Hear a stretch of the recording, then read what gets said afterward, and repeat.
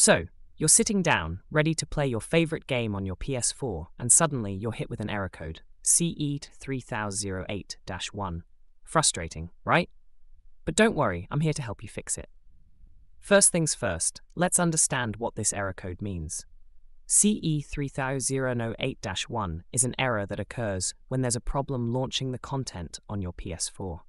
It could be due to a variety of reasons, such as corrupted data, a software glitch, or even a hardware issue. Now let's get into the troubleshooting steps. The first thing you should try is restarting your PS4. Simply turn it off, unplug the power cord, wait for a few minutes, and then plug it back in.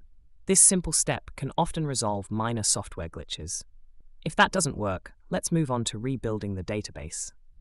To do this, you'll need to start your PS4 in safe mode.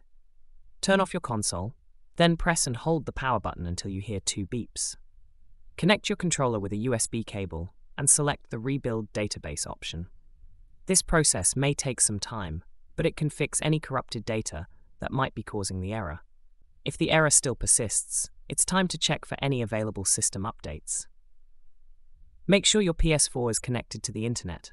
Go to the Settings menu, select System Software Update, and follow the on-screen instructions to download and install any updates.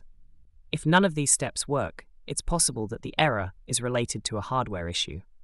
In this case, you may need to contact Sony's customer support or take your console to a professional technician for further assistance.